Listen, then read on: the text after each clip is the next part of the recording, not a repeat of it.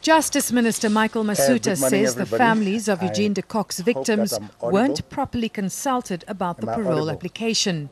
I have not approved parole at this stage, but have directed that a further profile be resubmitted not later than 12 months from today instead of the two year period prescribed by law.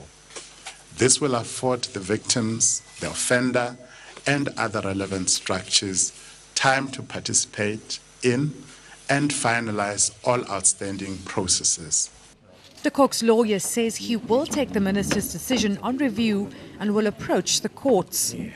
Julian Knight says Masutha's reasoning is incorrect because consulting the victims' families was not a requirement when de Kock was sentenced in 1996. The Criminal Procedures Act has since been amended. But Knight argues the law doesn't apply to de Kock as he was sentenced under different parole legislation. Dubbed Prime Evil, de Kock was convicted on 89 charges, including murder and conspiracy to commit murder. He was sentenced to two life terms plus another 212 years, all to run concurrently.